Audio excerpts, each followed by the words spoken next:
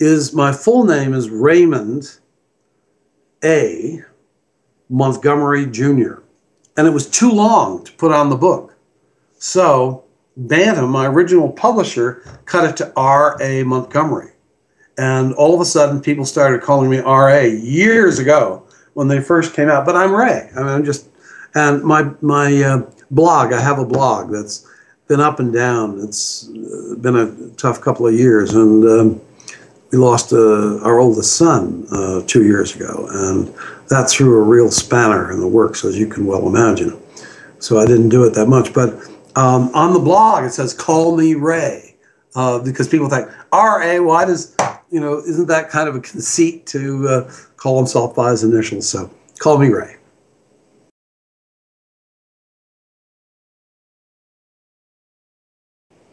Surprised, enormously surprised and gratified. Um, when I say gratified, I think, Matt, what I mean is um, we all make choices in our lives. And the choices were open to me. I could have gone to law school or a business school. I could have become a broker in New York. I chose not to do those things. I did work for the Wall Street Journal for a while in the education division. Uh, and then I went uptown to Columbia University. And ever since then, my goal has really been in education. Um, what is that all about? I, I, think that's making an impact, trying to make an impact um, on kids. Um, and that's really what I've done with my life. So when the books took hold, um, it was enormously gratifying. Uh, teachers loved them, librarians love them, parents love them, but the kids are the ones who really drove it. And so I was writing for the kids, and I still am. I finished a manuscript yesterday. I've written about 70 of them.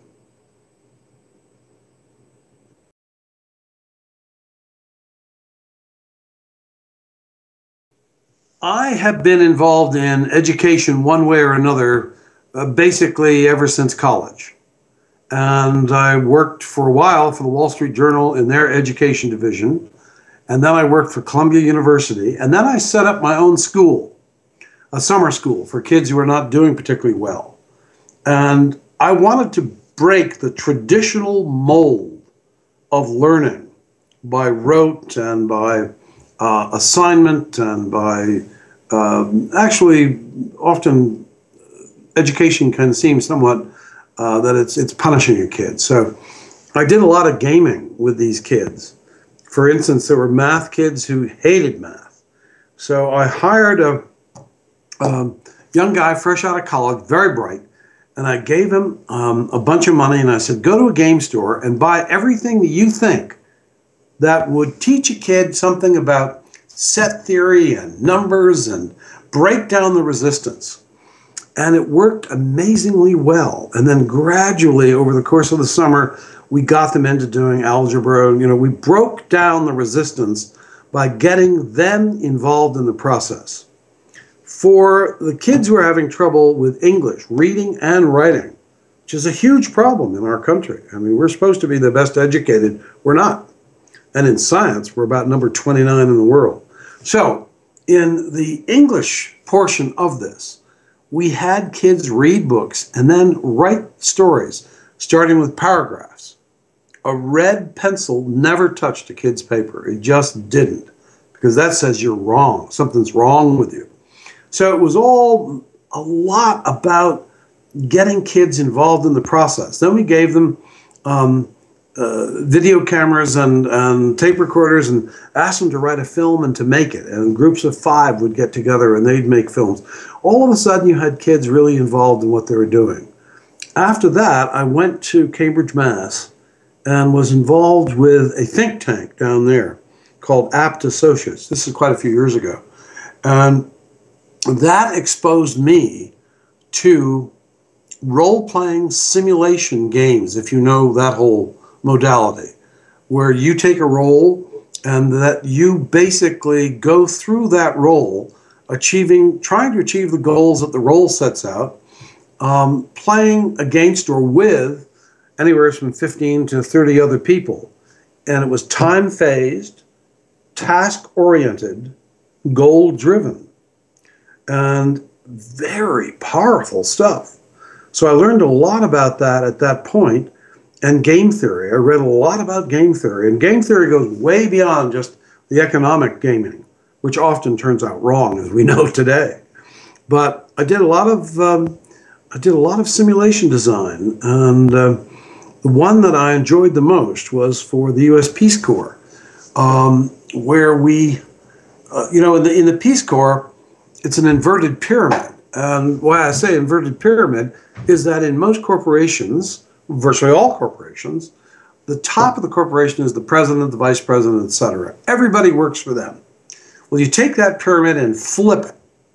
Now you've got the volunteers at the top and the head of the Peace Corps mission in the country, whether it be Africa or India or Latin America, wherever it happens to be, is there to support the volunteers. It's a very hard concept to get when you've got some relatively young, um, you know, uh, executives at IBM or John Deere or people like that wanting to volunteer for two years. Probably their bosses wanted them to, whatever reason. And all of a sudden, they're thrown into a world in which they're at the bottom supporting all these volunteers at the top. That led to a lot of confusion.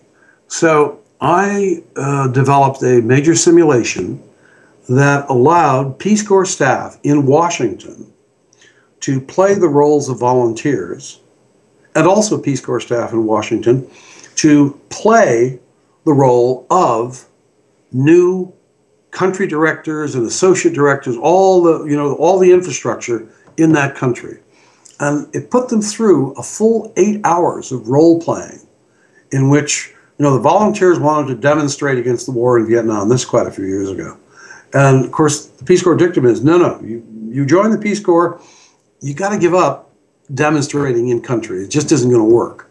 You're there as their guest. But the volunteers are saying, we don't like the war and we don't like this, we don't like that. And yet the staff has got to work with the country. And so a lot of conflict. Well, at the end of the day, with all these meetings and all these confrontations, and all of a sudden you'd slip, the game director would slip a piece of paper that said, three volunteers have been caught up country uh, smuggling uh, drugs. It was, and, and then the note to the, the country director was, it's not true they're being framed. But all of a sudden, that's like reality. It stops the game, doesn't it? Or it stops what was going on in the game. So that had to be taken care of. All these things. Now, what was the point of this? The point of this was to get the people who were playing these, playing these roles in real life to be sensitive to the problems that uh, Peace Corps country directors and staff members and uh, all the rest of the development staff will face overseas. And the most important aspect of that gaming experience was probably not the game itself, it was the discussion that led after the game. So, this is experiential learning. This is game development. This is simulation design. And I've explained this to a lot of people, and I'm, I have a feeling, Matt, that you know exactly what I'm talking about. Um, but people who don't, I would say, well, look, an architect builds a, a model of a house. Um, a designer of boats puts a hull through a wave tank. Um, an airplane model is built for wind tunnels to see what happens with the laminar flow of, of uh, wind over the airfoil. Um, war games are built on sand tables. Uh, the business schools use um, a modification of this in case study um, moot court, in the legal system. Gaming is at the heart of an awful lot of stuff. So, teaching, if it's not lecture, lecture, test, regurgitation, all that kind of stuff, but if it's experiential where you're given an opportunity, it's very powerful, and I believe in that. So, what is Choose Your Own Adventure? Let's take a look at Abominable Snowman. I think you have that one in your hand. Maybe, maybe not. Whatever. Okay, Abominable Snowman. It kind of opens up and it says, You are a world famous mountain climber despite how young you are. And you and your best friend are at the bottom of Mount Everest. And the kid reading this says, Whoa, yeah, I'm a, I'm a famous mountain climber. And your friend is missing in the ice fall. Now, the ice fall is the terminal moraine of the glacier that's, you know, coming down on Everest. And this is a real kill zone. And the book is telling you about this. And there are huge ice needles, seracs, that by 11 in the morning, even at that altitude, 18,000, 19,000 feet, the sun is working on those giant ice needles and making them unstable, and they're beginning to waver and they can crash. And a lot of people get killed in that ice fall. So here's your choice. You, you the reader, and it says it right in the book, you can choose to go into the icefall after your friend Antonio. You're not sure he's there, and it's very dangerous. Or you can choose to wait until the Nepal Royal Air Force helicopter rescue team gets there. But the Rongbuk Glacier is filling with clouds already. It might not be able to make it. Choose now. And if you choose to go into the glacier, that's the death zone go to page six. If you choose to wait for the helicopter, go to page seven. Now, you can imagine people making these decisions. And you read these books as a kid. And actually, a lot of adults read them too. Um, it's, it's finally saying to you, you're involved. What, do you, what are you doing? And why are you making these choices? So, implicit in the choice is an ethical or moral uh, approach or decision, but that is never spelled out and it is never sold. Whatever you decide is what you decide. A little bit of postmodernism in there, although I'm anti postmodernist. um, so that's what it is. It's just an exciting way of getting people involved in their lives. And I had always hoped that this would um, make some profound changes um, in the way people make decisions about their lives, uh, about the lives of their children, about politics, all the rest. And I'm still very optimistic about that. That's kind of a long answer.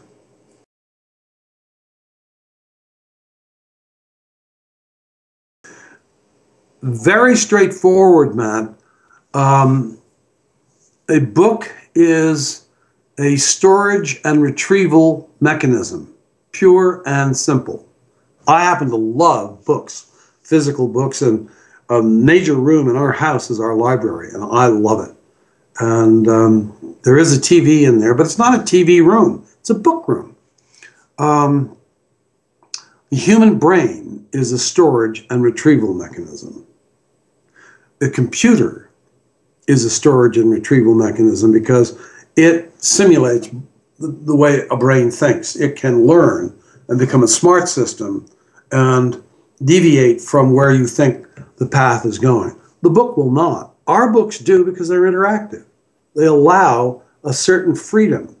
Um, but the best way to enhance that would be put it on a computer, and if you don't like the ending, write your own.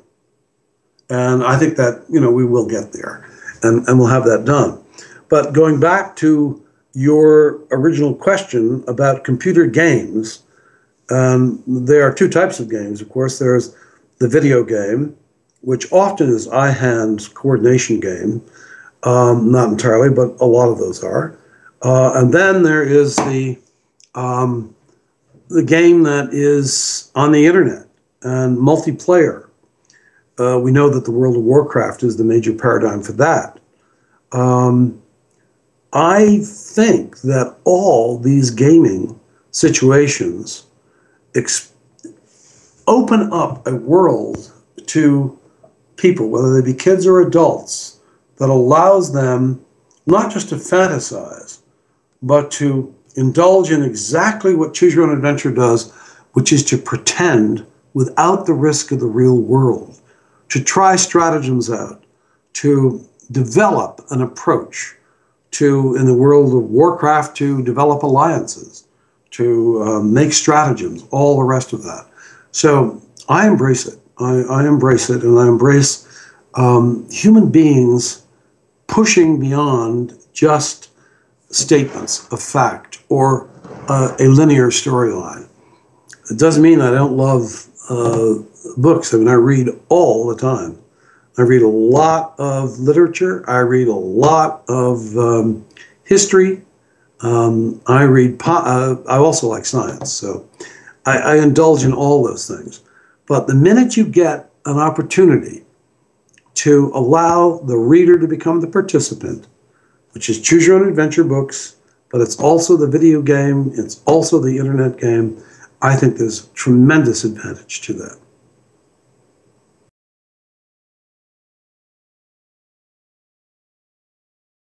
Well, a lot. Um, people have often asked me that. Now, part of this comes out of my direct experience of travel. And when I travel, I read a lot about those countries.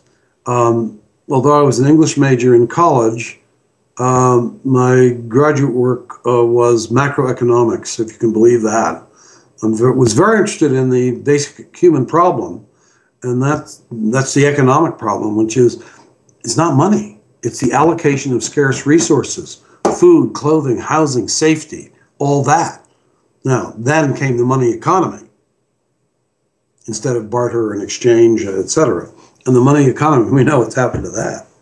Um, so I bring to this, to these books, a level of interest and a level of research. So I'll research a country or something like. If it's a total adventure story, then maybe I won't. But you know, there's a lot of research in it, and I would say that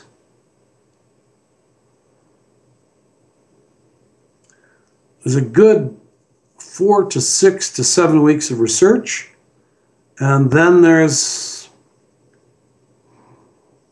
if the writing goes really well, um, five, six, seven, maybe eight or nine weeks.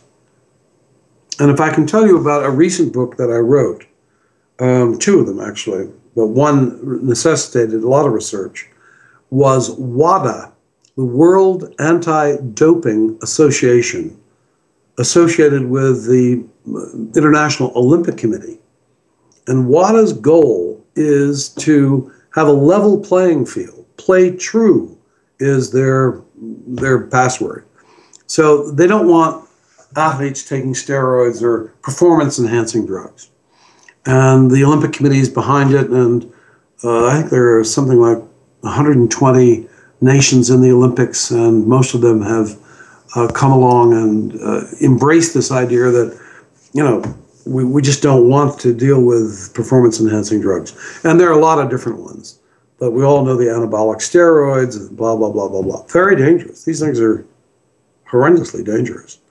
So they asked me, they came to me and they said, Well, Ray, we like your books, and your books are choice driven. And young athletes, like junior and senior high school athletes, have life decisions to make. And there's a lot of drugs out there for these kids. So, would you be willing to write a book for us? And I said yes immediately because that's exactly what I want to do is to help kids come to terms with their own life and the choices that they make and the results of those choices. But again, remember what I said, Matt, before, and I noticed you smiled when I said everyone's got the right to fail. We can try again. We can do different things. That's human nature. So uh, I said yes, and I wrote a manuscript called Track Star which takes place in a high school. And a lot of these kids want to get into a university with a scholarship. And if you're good in a sport, that does help you sometimes. And then there's the temptation to enhance your thing. So I did a lot of research. A lot of that research was provided by um, WADA, the World Anti um, Doping Association, and through um, the International Olympic Committee. And it, I was very careful about that, extremely careful. And that is finished and it's out there. Um, and WADA is giving it away. Um, they're giving it away in English and French. It's going into Turkish, German, Arabic, and it's we think it's going to open to a lot of countries. And I'm very proud of that. It's something that I wanted to do, and um, when I first heard it, and um, so there's an example. There was a lot of research It was provided for me so that if we say something, we try to really substantiate what it's about and make it, you know, verifiable.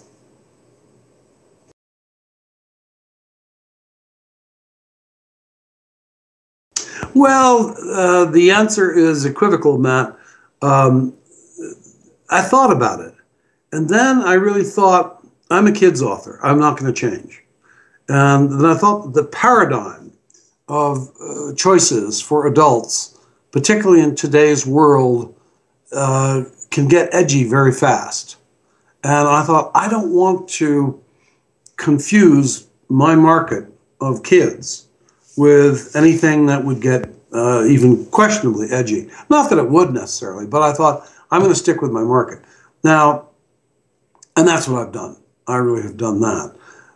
At the same time, I wrote a manuscript about 500 pages, not interactive at all, for adults on modern day China and the prospect that modern day China um, is poised to fall apart um, just the way China, over its 5,000 year history, has come together and fallen apart, come together and fallen apart.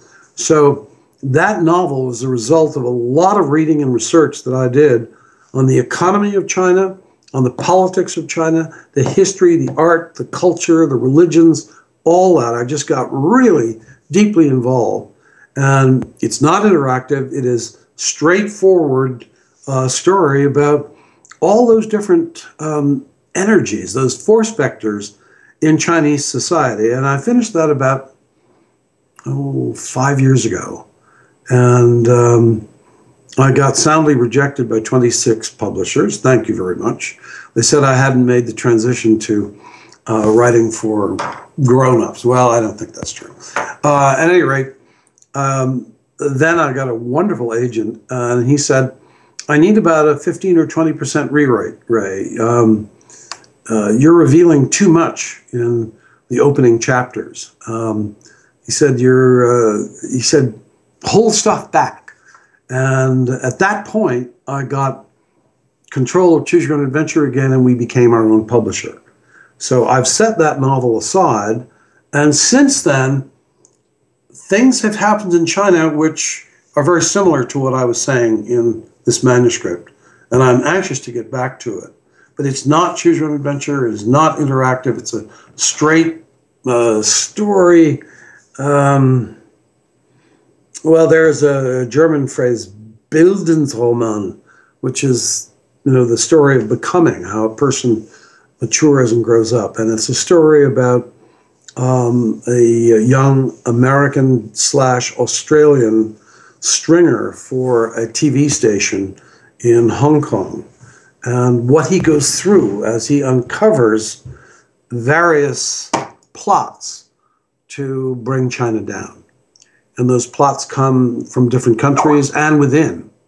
So, uh, to get back to your original question, have I thought about writing for Choose Your Own Adventure for, for adults?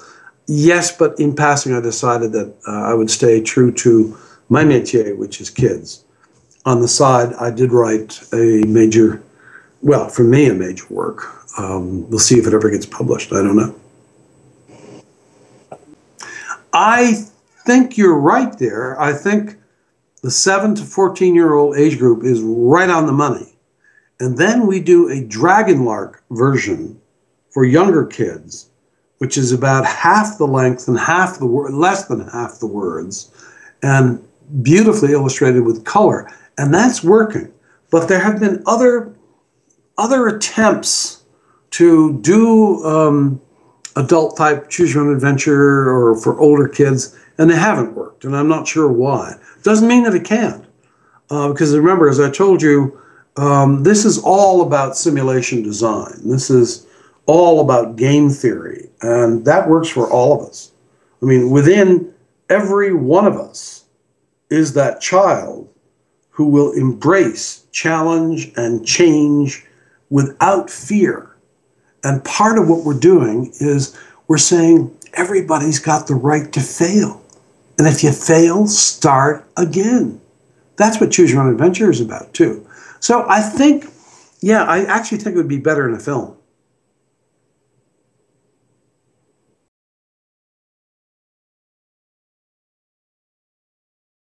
Well over 200. Well, I think Abominable Snowman. Um, I was really, really taken by Nepal. Um, I think that um, Mystery of the Maya is good. I think that Chinese Dragons is one of my favorites of all time. Um, both my boys wrote books uh, for me, and so all of those are my favorites too. And my wife, Shannon Gilligan, has written probably 10 of them. Um, we just came out with uh, my son Ramsey, the, the boy that we lost. Um, he was teaching uh, English in Saigon, Vietnam, and uh, died of a stroke, a massive stroke, while reading in bed, which um, uh, is a kinder way to go, uh, but still far too early. But um, uh, it's called um, Mission to Malawi, and uh, that's become my favorite book because it reminds me of him.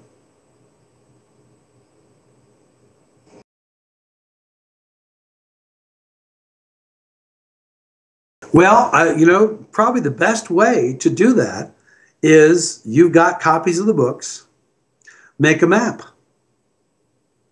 Make a map of what pages go where. And that shows you exactly how the books are constructed. And it's simply uh, what it is, is maybe the best way to look at it is if you like tennis as a sport, for instance, there's a tennis ladder.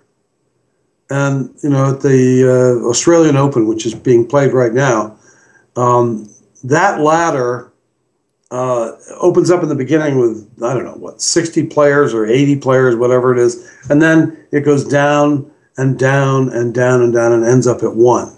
Well, flip the ladder around, and you've got you at the beginning and you make a decision and it goes to another branch, another branch, another branch, another branch, and then other branches, and then other branches.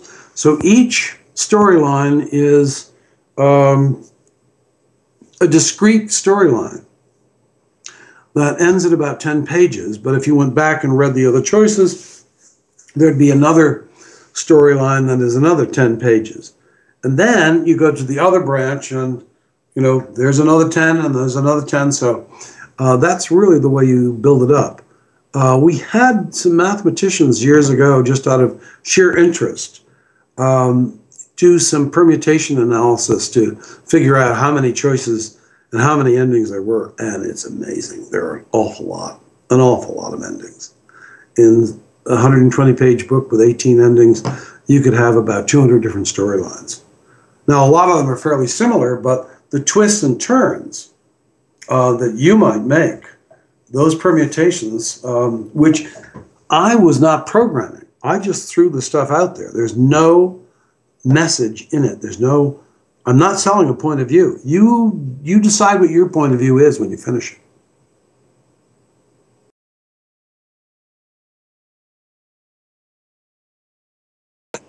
I would say do it, and here's the reason to do it. The publishing world is tough. There's just no question about it but it has changed enormously just in the last few years because of technology. And you can self publish. And now there are the ebooks, there's Kindle. We have 32 of our Choose Your Own Adventure books available on Kindle since, uh, since the middle of uh, November. Um, Barnes & Noble has a, a, a, reader called The Nook, um, Apple is coming out with. Sony has the e-reader.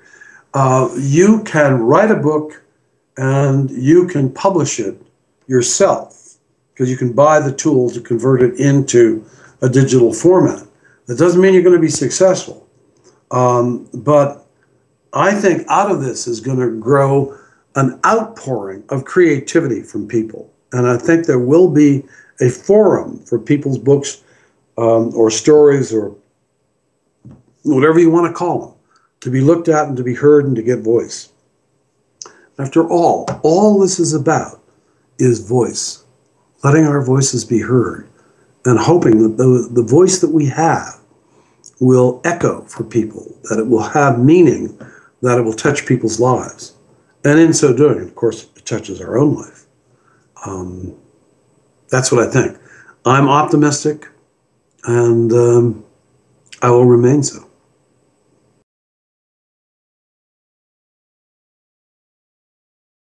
Always negative uh, things in the world, and uh, but overwhelmingly positive acceptance of this, because um, I think that uh, parents are delighted that kids like it and like to read, and that if it, uh, you know. Um, if a parent's reaction with a kid is, "Well, uh, son, how'd you do in school today?" All right. Um, anything exciting? Nothing. Um, well, what else, son? Whatever, dad. But if the parent brings up this thing and says, Well, what did you choose? Would you go into the ice ball after your friend? And all of a sudden the discussion starts. So it opened that up for the teacher, it opened it up for the kids, it opened it up for the parents, and that was very positive. Um, yeah, I would say for the most part, it's been very positive. We had a very nice thing happen the other day what we learned just a few days ago is that Wikipedia gave a listing of the 100 best selling series, both adult and children. Harry Potter was number one. We're number six. Oh, the combined writings of Mao Zedong are number three, but uh, that's because I think everybody in China at one point was required to buy it got them from Germany, we got them from Spain. Germany and Spain were very good about royalty reports um, on the dot. The, the others were very, very hard to uh, ever penetrate. So 250 is a good solid number. It's probably three to 400 million, something like that.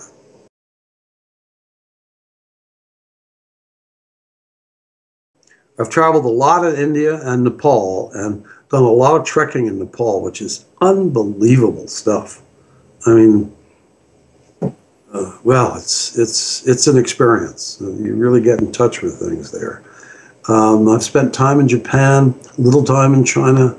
Um, Peace Corps in Africa was just amazing. French West Africa, Francophone Africa. Um, Europe, I've, I've spent a lot of time in Europe and of course our own country. But yeah, I like to travel. I like to play sports. I love to read, and I like writing. I mean, that's basically my life. I've never really climbed at uh, Everest, but I have done a lot of very serious climbing and trekking uh, in Nepal and in Europe and in the United States. And a lot of the stories are reality based for me um, that I've had that experience. I've traveled an enormous amount, and I read a lot too. Um, but I've traveled a lot, and I've done a lot of the things that I talk about. Not all of them, but a lot of them.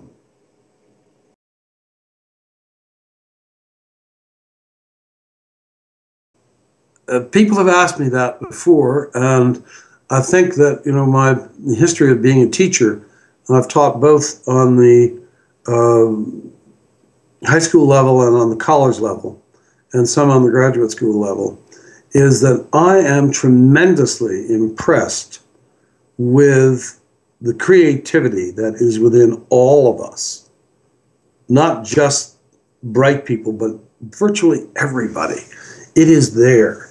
And you give the people tools to achieve some of that creativity, to let that go, to ex- expand it and explore it and you give them a paradigm to do it, um, sky's the limit. And I think that choose your own adventure. What is the paradigm there? It's that you are the hero of the story, and you make choices leading to different types of outcomes. And although you might eventually say that's a bad outcome, I failed, and I got to go back to something new. Free yourself. Free yourself from judgment. Allow the active brain, the, the searching mind, um, to make those choices and to take those risks So um, now I'll give you one thing that uh, I think uh, has helped me enormously. And um, as I say, you know, uh, I read a lot. Maybe you know this book, A Hero with a Thousand Faces by Joseph Campbell. Read it, read it again, read it again, read it again, and read it again. And I have read it about seven times. And I put little, I underline it, and I put little bookmarks in it. And Matt, this is the thing that's really impressed me about that book is almost every time I read it, I underlined different things. So the depth of that book is amazing. And this might show, you know, kind of my my thinking about where I'm at in my life and what I'm thinking about is we are all on that path. And we are all given challenges. And the challenges, when he talks about, you know, the challenge is to walk the hero's path bravely and courageously, to learn and to give that learning back to the others coming along behind us. That's that's the hero's path. That's that's he's talking Buddhism there, really. So for game developers, um, don't be afraid. Just go out there and understand that we are all confronted uh, with choices every day of our life, and that it's new, it's exciting. Sometimes it's really, really hard. And as I say, you know, losing a child, it's you know, I every day I have to deal with that, and uh, and yet I'm not turning my back on life. That's the message that came out of that. Not turning your back on life, even when it hurts. And I can tell you, man, it hurts every day, every day.